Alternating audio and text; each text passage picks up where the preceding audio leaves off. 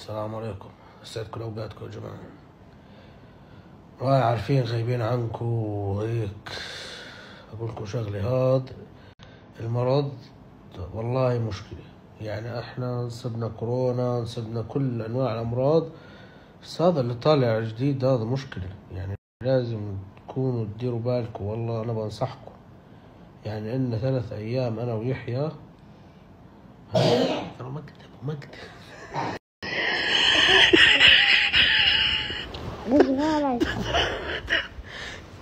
عشان قلت اسمه صار يقح. ماكلين هوا إحنا على كل حال. الحمد لله. بس حبينا نطلع عليكم لأنه بنحبكم. حاس خشمي أحمر ولا أنا أحمر ولا أنت الله كلك زهري. والله أنت زهري. نور. كيف حالكم؟ شو؟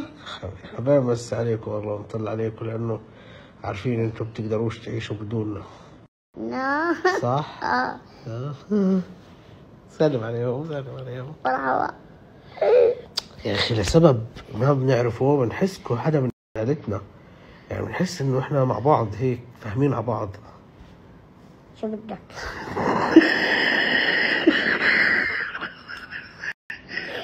مش قادر اضحك لما كنت تضحك تضحك صغر الشك. المهم بدنا نحكي لكم قصة قبل النوم آه، من من سلبيات هذا المرض إنه بخليكم تهلوسوا. آه نحكي لهم قصة قبل النوم لا نحكي قصة قصة لا لا تغني لهم. احكي لكم قصة ليلى والذئب. أحكي لهم إياها أنا. يا إخوان ليلى كان معها أربع بيضات. جد؟ آه من الحج جدتها. أيوه. والحج جدتها. شو قالت لها؟ رجل مالك نمت إيه ليلى والذئب ما مين ليلى. القصة القصة اللي كنت تحكيها قبل النوم. آه. يحيى احكي لنا قصة ليلى والذئب. آه، طيب طيب.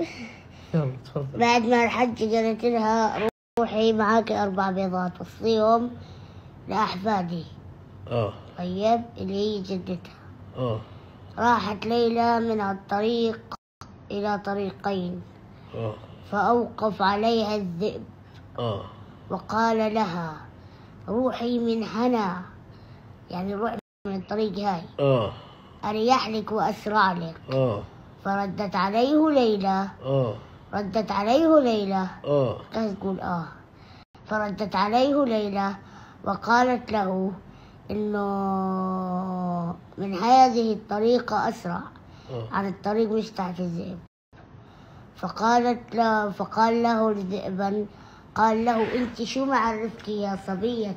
روح يا أخوان نام روح. والله ما عاد فاهم إذا شو في. والله أنا أكمل لك القصة.